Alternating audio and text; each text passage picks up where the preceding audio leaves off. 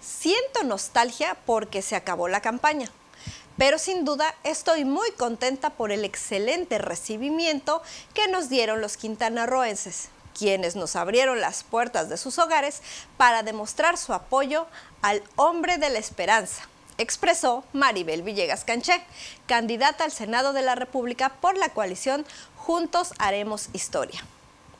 Aseguró que son miles de ciudadanos los que ya saben por quién votarán.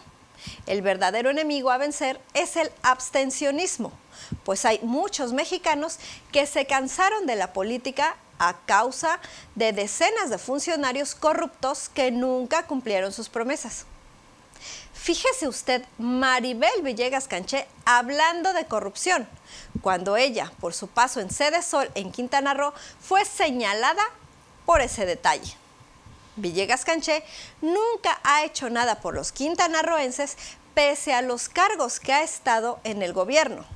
Un ejemplo de ello es la tan cacareada ley para que todos los estudiantes cuenten con beca de transporte. Hoy muchos de ellos siguen desembolsando recursos para asistir a las escuelas.